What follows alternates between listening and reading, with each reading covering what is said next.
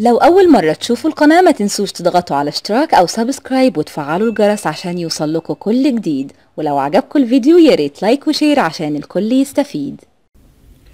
السلام عليكم ورحمة الله وبركاته. ازيكم يا أحلى وأجمل بنات في الدنيا؟ معاكم جيجي من قناة وصفات مع جيجي. كل حياتي النهاردة هنعمل وصفة ممتازة جدا لتبييض منطقة البكيني والمنطقة الحساسة. كمان الوصفة بتاعتنا ديت لو حطيتيها على منطقة الإبط أو المهبل مش هتصدقي النتيجة بتاعتها رائعة جدا.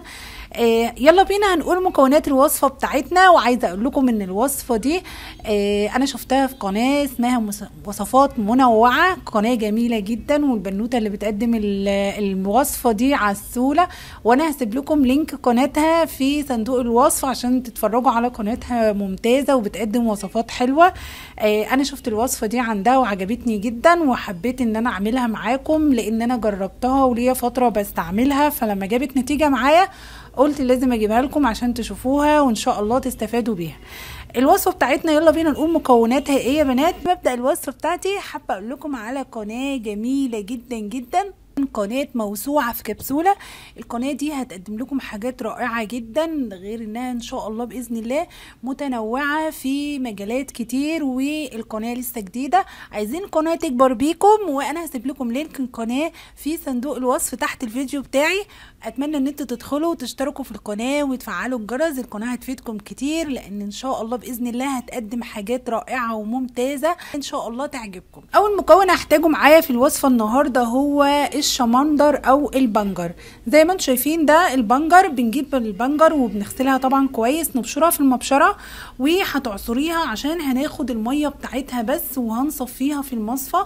أنا بشراها زي ما أنتم شايفين كده لكن أنا هصفيها وهاخد المية بتاعتها فقط. أما تاني مكون معايا هو هتجيبي حبة واحدة من البطاطس هتقشريها وهتضربيها في الكبة أو هتبشريها في المبشرة علشان برضو هنعصرها وناخد المية بتاعة البطاطس فقط يا بنات. آخر مكون معايا هو الجيلاتين. طبعا الجيلاتين متوفر في كل الدول وده شكله علشان برضو تعرفوه هنجيب آه برضو معلقتين أو ثلاثة من الجيلاتين مش غالي ورخيص خالص.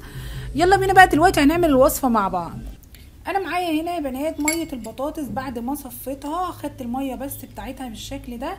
هبدأ أصفي بقى معاكم برضو الشمندر أو البنجر. هنبدأ نصفيه. هناخد المية بتاعته بس برضو بالشكل ده. كده أنا حطيت البطاطس على الشمندر. هبدأ دلوقتي أضيف الجيلاتين على البطاطس والبنجر اللي أنا إيه عصرتهم بالشكل ده وهنبدأ نقلب. وبعد كده هناخد الخلطة بتاعتنا دي وهنحطها في الميكرويف لو ما عندكيش ميكرويف ممكن تعملي لها حمام مائي مية سخنة وتقلبي فيها لحد ما تديك القوام اللي إحنا عايزينه. وبعد ما حطيتها يا بنات في الميكرويف بقت معايا بالشكل اللي إحنا شايفينه ده. طريقة استخدامنا بقى للوصفة بتاعتنا دي سهلة وبسيطة جدا. أول حاجة إن شاء الله لازم تغسلي المنطقة اللي انت هتحطي عليها سواء منطقة البيكيني أو تحت الأبط أو آآ آآ على المهبل لازم تغسليها كويس جدا بالمية الدافية وبالصابون الطبي. وبعد كده هتاخدي بإيديكي وتدهني عليها هتسيبيها على المنطقة. هتستخدميها لمدة 3 أسابيع إن شاء الله وهتجيب معاكي نتيجة كويسة جدا في التفتيح. آه وكمان بتديكي لون وردي جميل جدا. لو استمريتي عليها إن شاء الله بإذن الله هتديكي نتيجة ممتازة. وإن شاء الله الوصفة يا رب تعجبكم. وإذا عجبتكم الوصفة متنسوش تعملوا like للفيديو وشيروا الفيديو لكل أصحابكم على الفيسبوك وجوجل بلس واتساب. وإن شاء الله أشوفكم في فيديو جديد مع جيجي. كل حياتي.